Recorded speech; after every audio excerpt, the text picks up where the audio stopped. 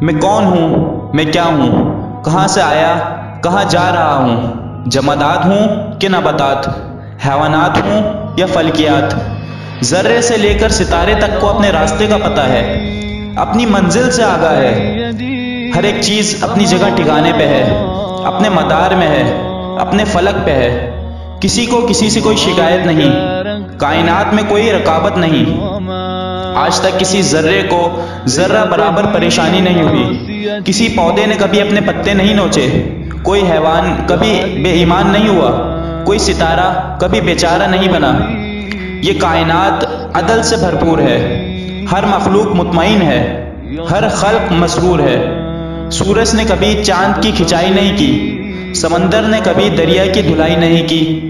گلاب نے کبھی گیندے کی رسوائی نہیں کی، شیر نے کبھی بلی کی برائی نہیں کی، اور ایک حضرت انسان ہے۔ راستے کا کچھ پتہ ہے، نہ منزل کا کوئی نشان۔ اپنے گرباں سامنے آنے پر کائناتی میزان پس سے پش چلا جاتا ہے۔ جسے ستاروں پہ کمن ڈالنی چاہیے تھی، وہ زمین پر گن ڈال رہا ہے۔ جو قدرت کی خلافت کا حقدار تھا، وہ فطرت کی خفت کا سزوار ہے۔ اسی کوئی سکون ہے، نہ کہیں قرار ہے۔ اشرف المخلوقات کے اعزاز کے باوجود آدمی کتنا بے بس کیوں ہے؟ اتنا لاچار کیوں ہے؟ کائنات کی تمام دیگر مخلوقات کی طرح قدرت سے ہم آہنگ ہونے کے بجائے یہ سب سے نابرد آزما ہے۔ اسی لیے خود سے بے خود ہے اور خدا سے جدا ہے۔ انبیاء کی تعلیمات کا نچوڑ سقرا کے ایک جملے خود کو جانوں میں بند ہے۔ مذہبی زبان میں جسے خدا کا ماننا کہا جاتا ہے، وہ اصل میں خود کا جاننا ہے، اپنی اصل پہچاننا ہے۔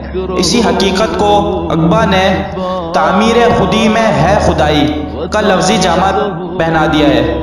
ہر عبادت کا واحد مقصد خود تک پہنچنا ہے۔ کسی خدا تک پہنچنا نہیں، کسی رسم کے عبادت یا بدت ہونے کا واحد پیمانہ یہی ہے۔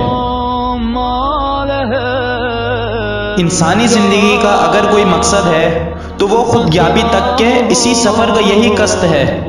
خود کو پہچاننا، خدا کو جاننا ہے۔ خود سے ملنا، خدا سے ملاقات کرنا ہے۔ اپنے مرکز پہ آنا، فلک پہ جانا ہے۔ اپنے قلب میں اترنا، آسمان پر چڑھنا ہے۔ خود آگاہی دوسرا نام خدائی ہے۔